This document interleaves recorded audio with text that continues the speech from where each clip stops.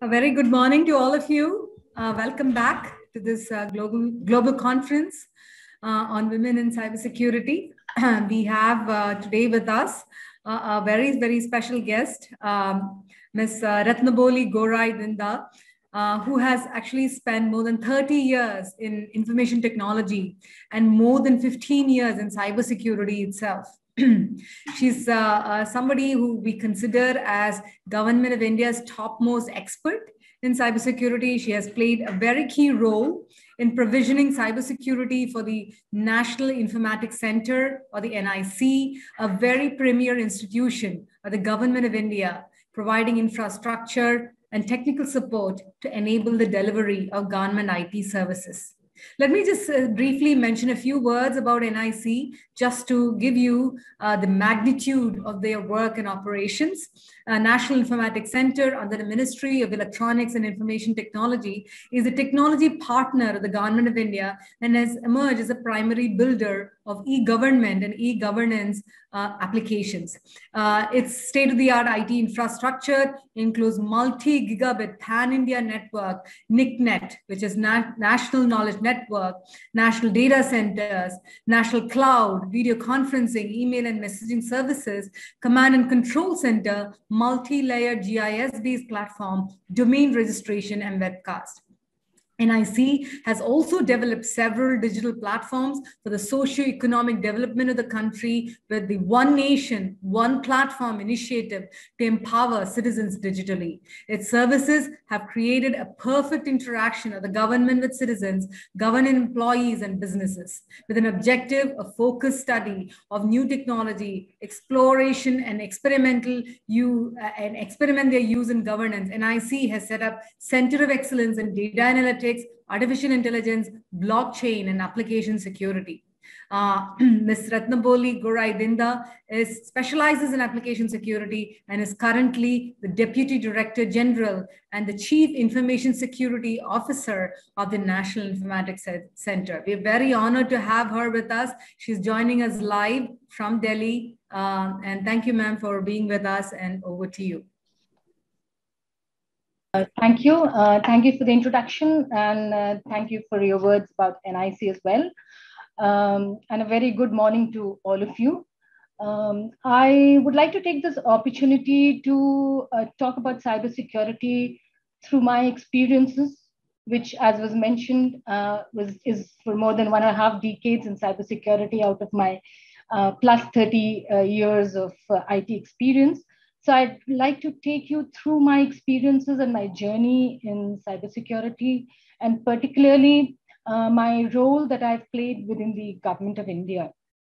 So uh, you heard about NIC. It is uh, an organization which is the ICT partner of the uh, government, uh, providing uh, ICT support and services to the entire government of India, including the state governments and even up to the district levels. So my career in cybersecurity started almost uh, in the year 2001 or two, which is practically, as I said, more than 15 years. And um, uh, those were the days when probably uh, the term cybersecurity was not even coined. We talk of information security or internet security at the most. And uh, the necessity of securing information was really not because you either had stationed desktop machines that were very sacrosanct with the person utilizing it, or you had data in servers which were more or less client server uh, models of uh, providing information. The only uh, thing that I can remember back then uh, was using a password. So using a password was almost synonymous with providing security on these systems which went ahead with you know things like how complex the password would be as we gradually went ahead in years. However, from then on, uh, with the advent of internet and uh, with the requirement of disseminating information, data to uh, more than the people who were stationed in a particular location, it became, became important to house applications, which were earlier uh, more two-tier applications which uh, migrated to three-tier applications and information was made available it was more or less one-way information. So there was a dissemination. So it would be made available to the public through internet-based systems. And that's when the requirement of security came in. And one of my earliest, or probably one of the first exercises that my team and I had taken up was to create what we then called the DMZ or the demilitarized zone. All that it consisted of was a firewall, uh, IDS, not even an IPS, that is the intrusion detection system, and a basic antivirus on servers. And that was the protection mechanism that was provided. So the firewall would not let in people who were not supposed to access the systems directly. And the IDS would try to see if there is some untoward, you know, signature-based intrusion onto the systems. And antivirus, of course, I did not explain. So that is how the protection started, which gradually migrated to the upcoming of data centers and became an intense and integral part of data centers. They became more complex. So the DMZ in data centers housed the networking requirements, the compute requirements, the security over that, such that the security was gradually growing to be able to secure all these systems and the machinery that was available in the data centers. So that is how I would uh, have said that my journey started. So before I go ahead, I'd uh, probably like to uh, share my uh, screen. I hope it's visible.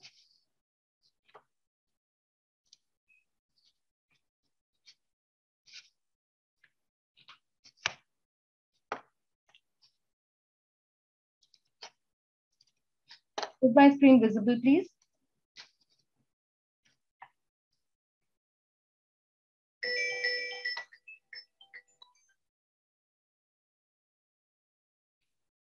Hello? Yeah, sorry. Um, um, uh, am I visible? Can you please respond? Yes, yes, that? we can hear you sorry, and we can sorry. see you. Okay. Yes. Sorry, I thought it was not visible. Okay, so we've already talked about the NIC mandate. So before I go ahead, I would just like to make a background of what NIC consists of. It'll probably be a bit of a repeat, but uh, I'd still go ahead. So it's a lot of digital infrastructure for the government. And uh, as was mentioned again, uh, we have the network called NICNET. It spans over the entire uh, government machinery from the headquarters in Delhi to the states and uh, to the districts in certain positions, even to the block level of the districts. Uh, we have several internet gateways to make possible uh, the uh, availability of internet access to our members or to our the people who are on, on the NICNET. We have critical services like video conferencing and GIS services, which are run. The video conferencing service has been a very, very successful service during the pandemic time. Uh, besides which, as I mentioned, we moved to data centers. So we have several national data centers. Each state has a state level small uh, mini data center. We've also got a cloud environment, which uh, is the government cloud Meghraj. Sorry and, to interrupt you, uh, Ratna ma'am. Uh, are you yeah. sharing your slides? We can't. Yeah, I'm sharing. Uh, we cannot. We can't see your slides. Ah, that's what I see you. Should I keep it on to the non? Uh, you know, uh, I mean, maybe just a sec. Is it uh, more visible now? Because sometimes this issue happens for sharing. Um, we are able to see you, but not the uh, the screen share mode. Okay. Okay. Let me see. Just a sec.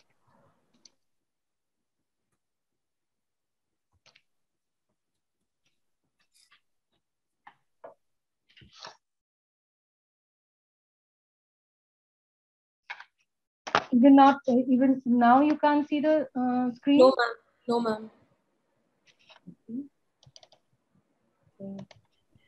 you'll have to press the screen share and then yeah, just I have, the I file. have I have pressed the screen share. Um, I'll just go back and do that again. And select the file. Yeah, I did that. Ah, yes, we are able to see. Yeah. Now it's it's good. Let me put it in the slideshow mode, uh, but sometimes we do have an issue with that. Yeah, it's good, ma'am. We can see it. Good. Okay. Yes, ma'am. Good. Sorry, sorry about that slight glitch. No problem. So I was explaining that we have a lot of infrastructure, and I was talking about the national data centers, uh, which uh, there are five national data centers currently, and we have small data centers at each of the state uh, capitals. You can also see that cybersecurity is an integral part of the uh, ecosystem at NIC. And we work uh, for different activities in cybersecurity, the network security being a major concern. We also have a dedicated team of members for the application security requirements and a CERT that looks into the uh, intrusions and the incidents that happen. So that's for handling the incidences. Um, moving ahead, NIC uh, provides platforms to the government of India. Uh, very many major platforms, one which uh, many of you, uh, the students populace particularly would have encountered is the e-counseling, uh, which uh, allows for counseling when the students enter colleges based on their results. we have critical systems like e-hospitals, which you know, uh, which allows the um, uh, registration of uh, patients towards doctors and hospitals and the process that follows. I would here like to mention about one particular app that has come into prominence, which is the Aarogya Setu app. I'm sure all of us have been using it which is the country's contact tracing app. NIC has had a major contribution in this. So likewise, there are several platforms. I've just highlighted a few of them.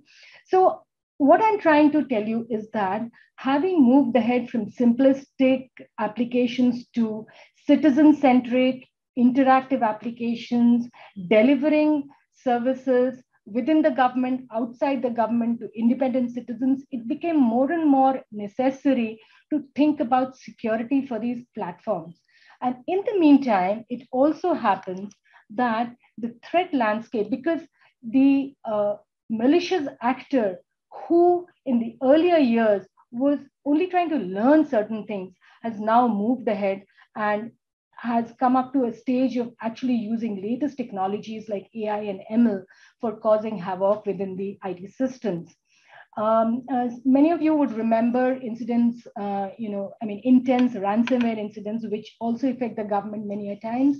Uh, the WannaCry was one such incident probably a couple of years ago uh, I would like to highlight here that uh, in NIC, for some reason, uh, which I would mention, we because we had specific uh, uh, controls in place. I mean, the administrative controls and the controls were uh, properly imbibed into our system, that we really could safeguard ourselves from such major attacks, which even affected the national health systems in the UK. So these are the kind of activities that the cybersecurity operations uh, has actually uh, brought about in the country. So how do we actually provide it?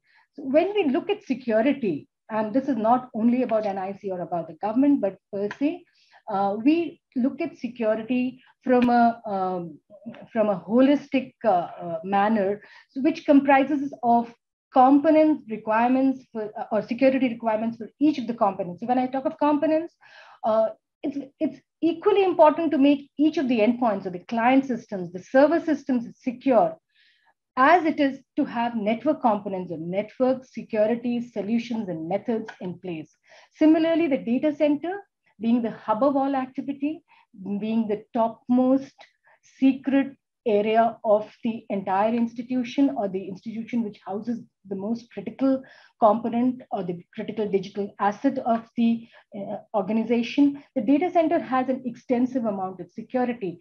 And this also pervades to physical security. But one must also remember that besides providing solutions and uh, methods to secure, it is also very necessary to the having the uh, cybersecurity governance through policies, processes, the uh, tools, advisories, building awareness, upskilling people, because cybersecurity or uh, it's it's it's to be ever evolving. Because if you have to keep pace with the hacker or the intruder, who is forever, you know, upskilling himself or herself, it is very necessary that all these processes are constantly, continuously changing. So it's a question of continuous assessment, continuous provisioning, continuous monitoring, so that it's a complete cycle. And this cycle goes on and on forever. There is never a point where we say that we have got enough security and we are now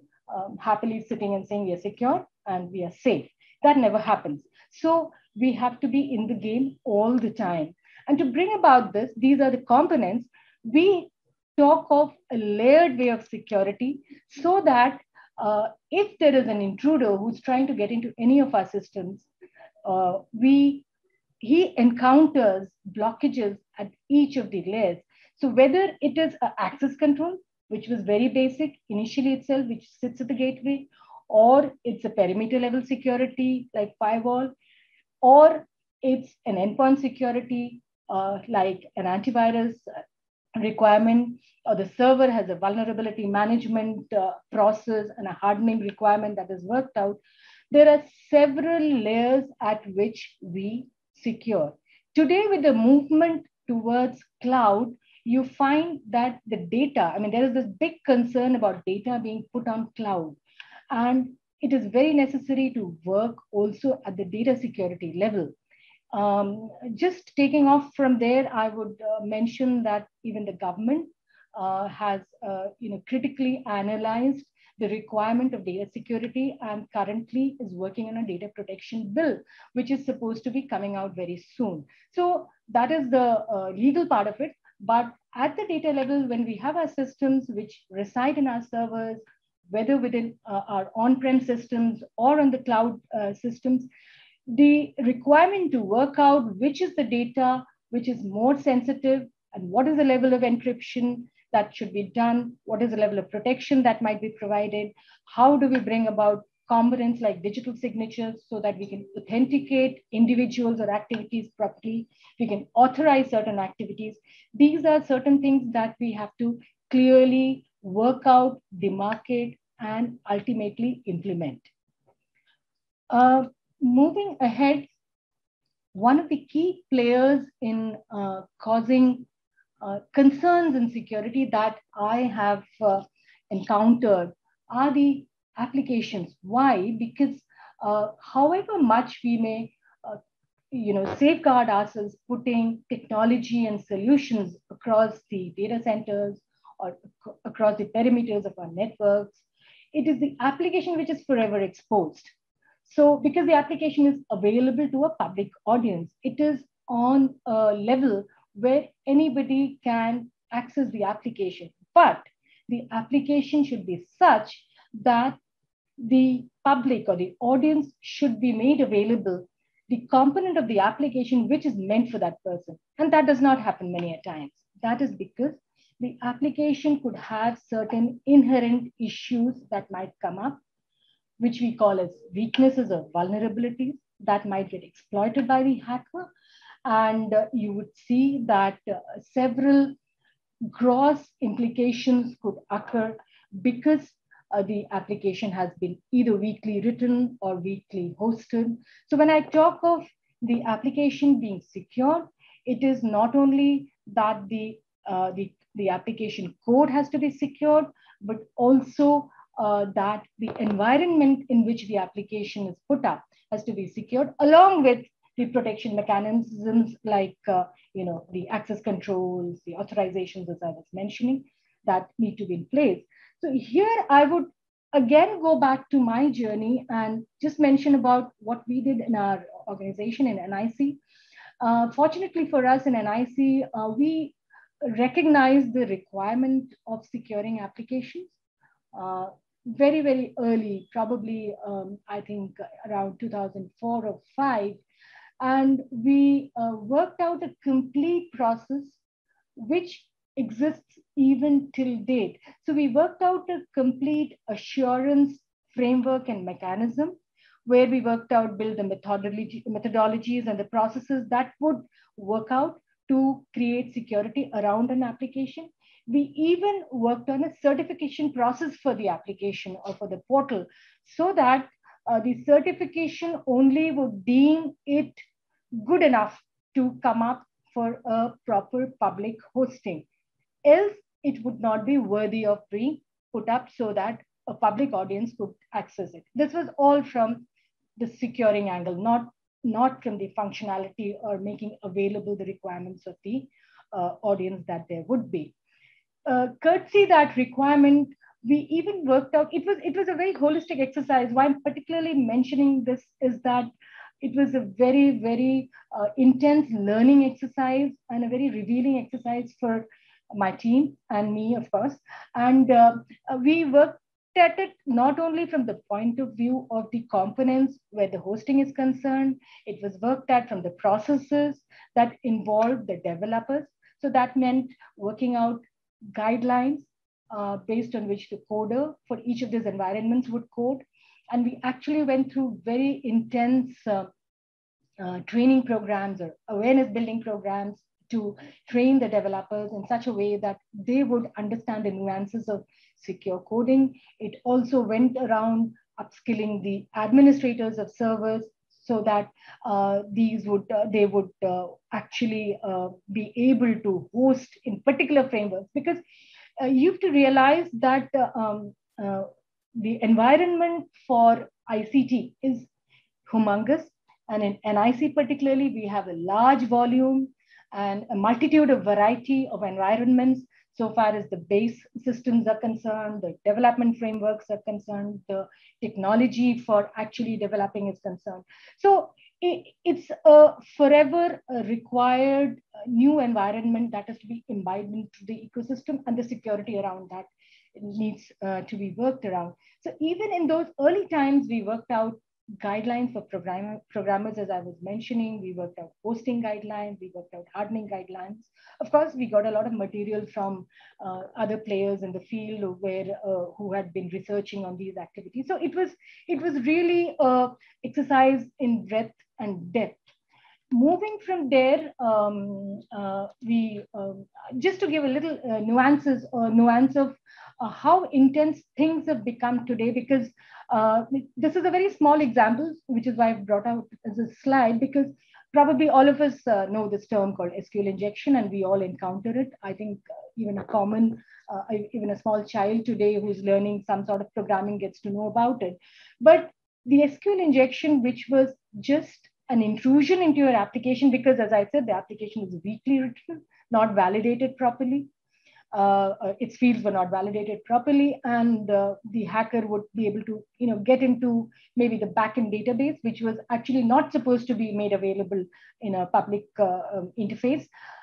The SQL injection has gone ahead today to a much intense existence where not only is the database extracted, but you find that there are cases of malicious code being dropped into your server, which sits there. Today, the hacker does not declare that I have got into your server and I'm able to deface it. I'm able to change a page. The hacker today sits quietly in the server, not for days, but for months and waits. Sometimes they would create a bot in your system to be able to connect to a rogue CNC and continuously siphon out whatever data they want to exfiltrate.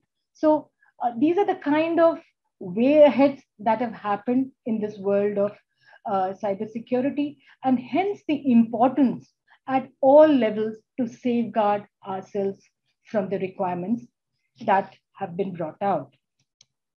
So what do we do or what do we propose to do uh, for this uh, purpose? So in order to secure applications, we have a complete uh, workaround where uh, we have uh, you know, build security. We should and we have built security into the software development lifecycle. So we call it the secure software development lifecycle. So that consists of writing code securely, but also reviewing the code securely. There are automated processes of doing it. Uh, the developer himself can be imbibed into this activity. And it can also be done by functional testers. There are several guidelines that are available uh, which can be followed for this testing and which the testers follow.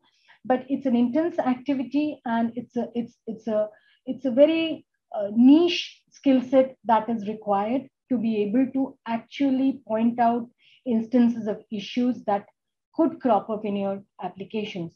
So uh, one is building it as a pre-requirement. So you upskill your developers to do this activity. The other is you do what we call security audits or a testing of your systems to actually be able to point out what are the issues in these systems.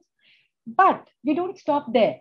We go ahead and continuously do testings on what we would say are alive, live hosted systems because, as I mentioned, the security does not stop ever because you will come up with new vulnerabilities. You, have, you will also come up with vulnerabilities which might not have gotten highlighted because of whatever reason. Either, either the testing was not sufficient or a new little bit of code has been added without uh, you know, without being informed and things like that.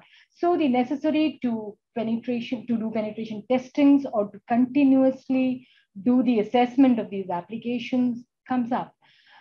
And today, uh, we have moved ahead from, uh, you know, uh, sort of monolithic applications to uh, applications which are requiring continuous upgrades. So uh, the code that the industry requires or our various processes require are more agile codes. So you develop today and you need to onboard the uh, parameter or onboard the required change in the code right away. So how do you actually do this testing into, uh, how do you actually bring this all about in an operational uh, process as well as in a secure manner or by building security into it? So today we talk of something called DevOps, uh, which uh, uh, actually integrates the developer and the operation operational staff so that uh, the developer and the, uh, the developer becomes a part of the operation. So the developer makes the change and it can be quickly onboarded with whatever functional testing onto the operation. So it is available. And we also integrate security into it to create a DevSecOps environment. So that's a process by itself. It's not only a solution. Uh, when we think of agile codes and with the advent of microservices, which are small components, uh, what also has happened is that there are several dependencies amongst codes. So when we talk of our large systems, it's not that you are sitting and writing the entire code. Uh, to give you a very small example, there is a uh, there is um, a system called the PFMS, which is our, uh, we call it a banking inter interface. It's a financial management service for government uh, systems, and it allows the direct uh, benefit transfers of funds to not only to institutions, but to individuals. Now, that's a component which today is binding with most of the e-governance applications. So it is not that the developer of e-governance application A would be sitting and writing the code for that integration. They would integrate either through an API or the provisioning of a microservice that is available on the PFMS and use that component in their application. So it becomes important to integrate these components in a secure manner and have the security built in in all of these little components that we have. To uh, facilitate this activity, what you would particularly require is an automated process of testing. So um, the DevOps environment talks about CI/CD pipelines, that is continuous integration and continuous delivery pipelines, which allow a build environment and an operational environment. Uh, if you talk of containers, it is very well defined in containers and Kubernetes, etc. And uh, here we are talking about building tools like the source code analysis tools or the SAST tools into the uh, system of the pipeline, which automates the whole procedure. So what the developer does is submits the code onto one of the nodes of this pipeline, which gets automatically checked through by the SAST tool and it is returned back to the developer with the findings. And the developer can sit at, its, at his or her own place and build up the code again with the corrections and submit it back again. So this entire process does not require human intervention or there is practically no delay. It can happen along with the development process. Of course, uh, the source code analysis or the SAST procedures, the static analysis that is, uh, is not the begin and the end all of building security into the code. You have other processes like dynamic analysis, which also can be automated into the pipeline and is automated into the pipeline. And, uh, but at some instance, there could be a possibility of a manual check on these uh, manual dynamic analysis and uh, that could uh, go ahead uh, with the, the testing procedure. And it is such, so this process is carried out in a smooth fashion in such a way that ultimately the code that is uh, being hosted or being provided is a more or less secure code. So that is the purpose of this DevSecOps kind of an activity, which today is the requirement for most processes to be uh, built in. Um, this was more about uh, the building in security into applications, but what happens if, uh, even if uh, you find that, um, uh, you know, applications still manage to uh, crop up with the vulnerabilities or concerns that have not been addressed even with the built-in of all these processes and procedures, the techniques, etc., etc. And during this uh, COVID pandemic times, we have seen the rollout. I'm sure it's it's happened in every industry. In the government, we've seen major rollouts, which have, have had to be quickly rolled out, and uh, the critical time for actually testing securing has been reduced to none, more or less. So building in these methodologies in the process has become important.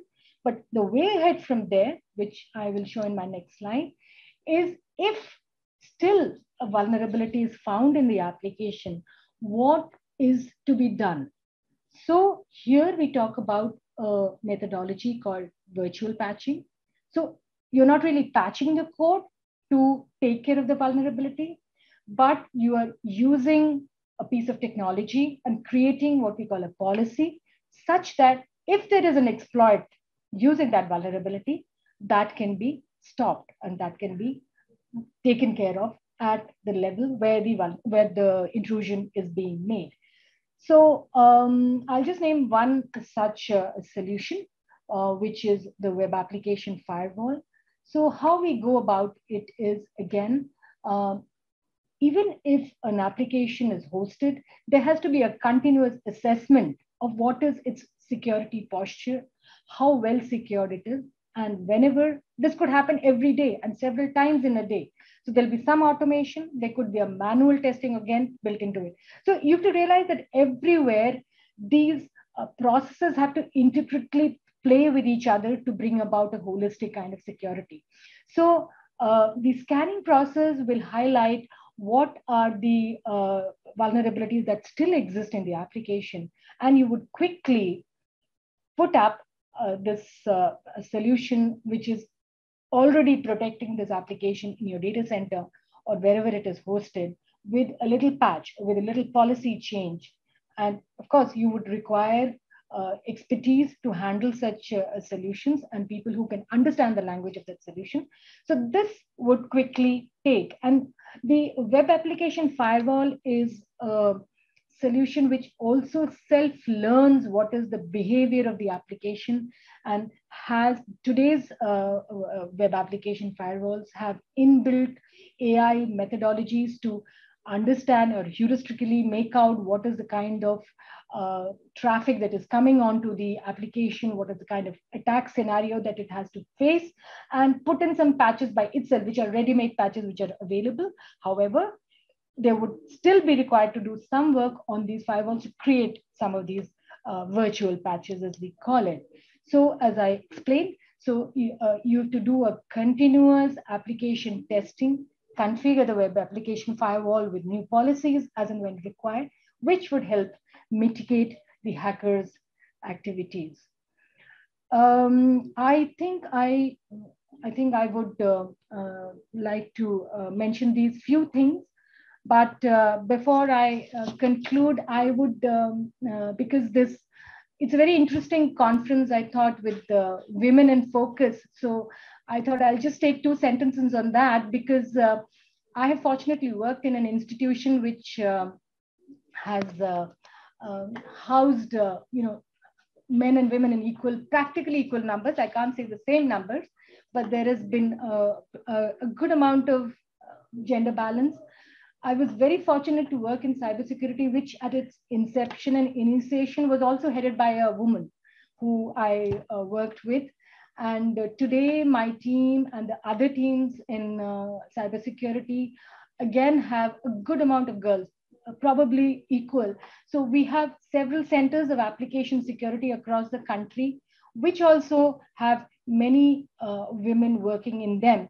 So taking on from there and uh, considering that it's, as I said, it's a very interesting um, conference. I think uh, today's world, particularly the pandemic, has uh, brought about uh, insights into work from home, extended work from home. There has been, you know, virtual offices, and I particularly see an uprise in the training modules, uh, you know, the upskilling modules, the certification methods. They were always there, but cybersecurity particularly uh, has been focused upon, and you see many such availabilities in the uh, in the internet world. And I think women, particularly young women, should take advantage and leverage these availabilities and uh, make their inroads into a career in cybersecurity. It's it's an extremely exciting, interesting career, and I think the remuneration is also uh, good. So I think more and more women should be encouraged. And I hope this, uh, this uh, conference with its uh, gamut of, I was looking through the, uh, you know, the speakers and the various, uh, uh, various talks that there have to be held. There is so many variety of top topics like Bluetooth security and IoT security. I think women should really take advantage of that and go ahead and you know think about making their careers uh, in cybersecurity with that, I'd like to say a good thank you and I'd be happy to answer any questions. Thank you. Thank you so much, ma'am. Actually, this is the first time I'm actually interacting with somebody who's, you know, done this much of work and really implementing such large scale initiatives for the government of India. So I don't even, I can't even fathom the, the kind of uh, types of activities you would be doing day in and day out to ensure that uh, you know the services are provided in a timely uh, fashion without really compromising on both security and privacy right? So what is your take and impressions on this balance of security and privacy? Because Aarogya Setu is something all of us have downloaded onto our apps and I, th- I think it is done very well in fact we had a recent publication on that as well uh, but I would love to hear your thoughts on security and privacy from coming from the government? Uh, I think um, security is of intense importance, and so is privacy. Unfortunately, uh, see, data privacy is always going to be a concern, and the systems that I was mentioning does have a lot of PII, which uh, is always again uh, a great concern. To, I mean, you think about uh, the e-hospital system. If I talk about, and uh, I'm sure no citizen would want uh, information about themselves being uh, available to any XYZ public, you know, which can be misused. You know, think of a person um, with with a disease uh, which could sort of uh, um, you know create barriers in their career path and that getting known to you know prospective employers. I mean these are things that we are always worried about. So uh, privacy is integral is an integral part of security obviously. So um, that's why i said that's why i mentioned that particularly today with the data moving on to the cloud. I'm, i mean here i'm not talking about the nic cloud because nic cloud is a more uh, on-prem cloud. But um, uh, the data moving on to the cloud the necessity to secure data is uh, very very uh, necessary. So far as the Aarogya Setu is concerned, the availability is through a public cloud, which is the AWS cloud, but uh, because uh, the leveraging of serverless computing was required, it's our country is a, a, massively populated country, so the reach has to be everywhere and in know good proportions. So that was uh, the uh, leveraging requirement. However, the data is within the uh, secured area within uh, uh, within um, you know kept in, in a manner in such a way that it is neither available nor available uh, to a malicious actor to the best of my knowledge of course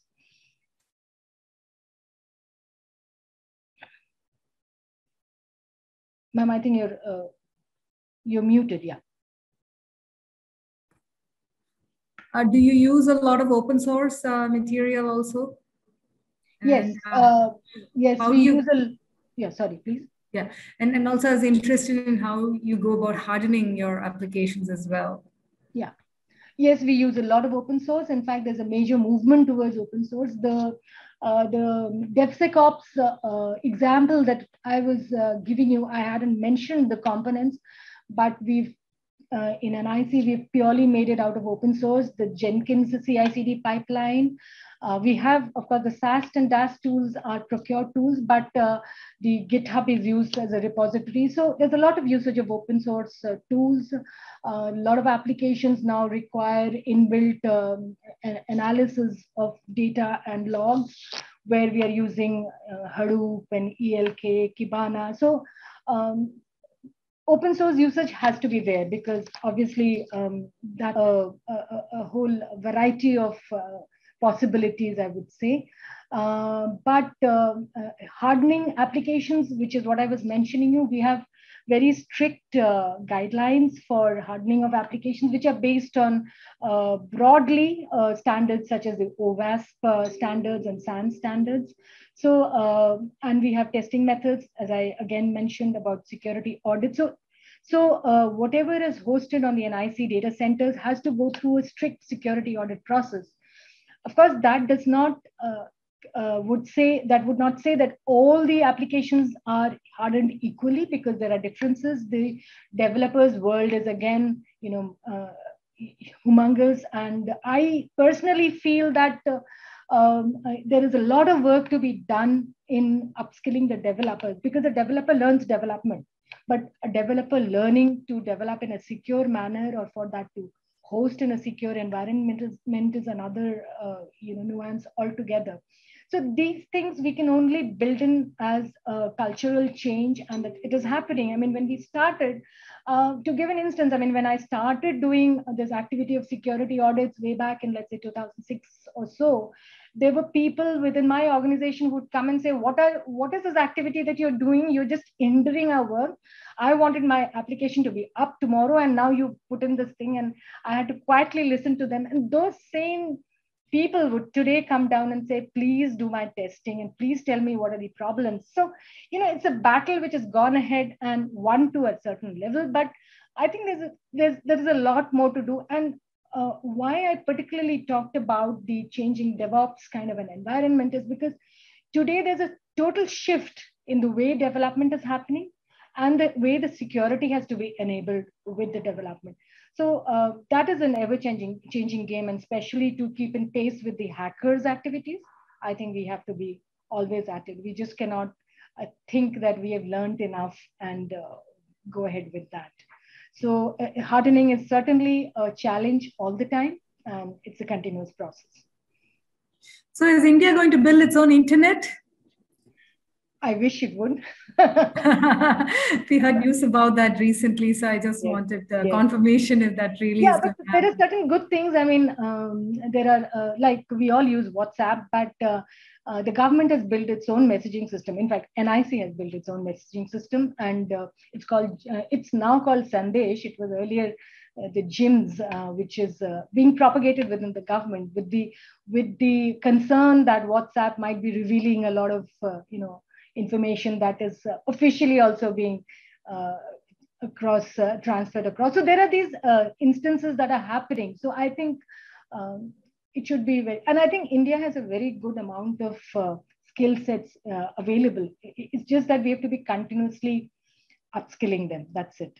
We have a large populace, lots of youngsters, uh, lots of people interested to do IT. So I think it's a, it's really. But I think I. I think government has been also promoting this, uh, you know, Atmanirbhar, you know, self-reliance, Hmm, and I think definitely cybersecurity is one major area right. uh, that uh, you know we need to look at a lot more indigenous uh, products and, and and ability to be able to scale so i would love to hear you know as, as, as a last question maybe uh, what are the top three things in your mind uh, you know india should focus on from from an application security point of view Is it um, looking at developing of new solutions? Um, how do we really, is it, is it, is it, do you think, uh, you know, a major concern is really the vulnerability of people, the lack of knowledge, the lack of awareness, which is, is a very big issue for us uh, as a large country. Where do you see the emphasis should be to really make um, very strong impact um, on being secure? Uh, if you're only talking about application security, I mean, there is a, the is a ocean, so there are lots of other fields. I mean, uh, there are, uh, you know, this whole uh, purview that one has towards the kind of intrusions that are happening now, the, you know, the different kind of malwares that are floating around. And that's another thing, monitoring and analyzing logs also needs its own skill sets. But if you're talking only about uh, the way applications should be secure, one take I would see is that we have to move ahead with the times and, uh, you know, we should have skill sets in all the environments that uh, are being used for development because that industry keeps moving. So uh, that is to be there. And uh, uh, we are moving more and more towards uh, dependency on third parties. As I was, I was, mentioning that one example, it's that's not a third party, but it's a segregated component. But similarly, you have you have you know um, concerns where uh, you are dependent on uh, third party components so uh, each one of them needs to be, uh, you have to work around the security of each one of them. One major thing that I, um, I think I just talked about it also is that I think uh, coding per se has to be stressed upon. I have been trying to say that we have a platform called the, um, I think it's called uh, in uh, ISEA uh, program of the government, educational awareness. I'm forgetting the first two letters, what they are. Yeah. So um it's isea right. And even in the isea forums i've been mentioning that you know because the the the uh, the last mile coder comes straight from a college. And i think if each of the college courses focuses on security. I don't find too many courses where you have internet security or cyber security as a part of the curriculum. I find that very little. Forget application security. That is probably i mean security uh, in the books is still a firewall and uh, you know the that uh, you know more or less related around that or at the most the operating systems. But talking about what actually practically happens in the industry is something that is very far from what the student is taught and i think that really needs to be a part of the curriculum maybe as an extended activity or you know as a tutorial or whatever so if a student who comes out because we find this a major issue that developers who join, uh, and especially in the numbers that we require in the govern, government uh, purview, is massive. So you have you have to contract out developers, you have to contract out testers. So each of the fields actually needs uh, effort at building these skill sets and at the same time upskilling them. That is very very necessary. And I think um, the online methods of teaching that have come up uh, I see a lot of them uh, now, I think should really be utilized, you know. But it's a lot of self-motivation for individuals. And I think each of the industry, I mean, the agencies, companies, they also should make it possible for their employees to leverage that and, you know, get the best out of that. Last question ma'am because this is a topic that's passionate to me. Um, what about you know what what is it that we can do to help more people who are not as literate and and, and online uh, you know because they are kind of the weak links of our society and they are using you know on a day-to-day basis several of the applications that you're uh, giving out so w- what is it that government is planning to do to help those vulnerable people um, who are not as literate and, and online or as savvy to be able to do a lot on their own? What types of services and help um, can really boost uh, their uh, um, uh, security? Um, that's a difficult question because we really again have a multitude of uh, you know people i mean citizens as you would say and uh, rightly so i mean uh, as you mentioned uh, it's difficult to make them uh, savvy. Uh, I can only think about building awareness and that is a difficult task because how do you build that? I mean, it's either through, uh, but you know, I mean, if I take the example of the banking sector, when we go onto a banking system, everybody is very careful because it involves, uh, you know, something that you don't really want to lose. I mean, frauds in banking systems or you're getting hit by in some sort of a fraud is something which is uh, probably thought about uh, by everybody. Even people who are not so savvy are aware of it because the need has been created. I think the banking, the BFSI industry has actually propagated a lot of messages, a lot of uh, awareness requirements, despite which phishing attempts happen and uh, you find victims, even in the educated populace. It's not that uh, uh, it only happens to people who are not so aware, even the aware people get uh, affected. So um, I think uh, the only way would be to you know have me methods of awareness.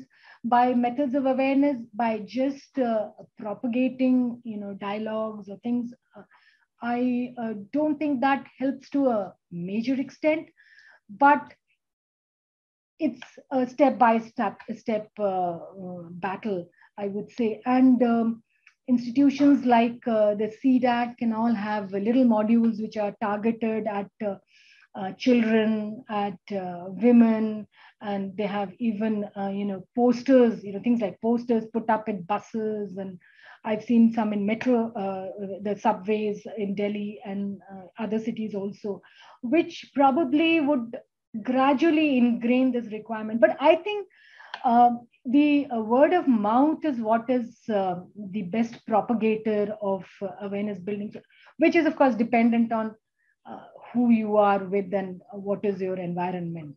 So I would really not uh, have a very good answer to that question, but I think it's a very big challenge considering our. Yes. And I would love to leave this, uh, uh, you know, as a message to all of our attendees as well as to what is it that we should do for our country, especially the vulnerable strata of the society, is something that should always be at the back of our mind. Just With that, add, sorry, yeah, I'd just like to add one point. I think uh, I think the children are the best targets for this. If you see your own children, I think they are much more tech savvy than you are. Even I'm told, oh, you can't do this. You are an IT person. I, I'll do it for you. You know. So I think if the children, for anything, I mean, uh, that's my philosophy for anything. For uh, even a social a norm that it has to be imbibed into the populace. If the children are taught that, uh, I think uh, I think the awareness would be much more. So I think if they attempt to uh, educate uh, schools, and I, I was talking about the ISEA program, I think that has components for school students also. I think that would, if not today, in a few years' time, at least you would have more aware citizens who would be able to take up uh, this issue in a you know more robust manner. I would say. Sorry, I interrupted. Sorry.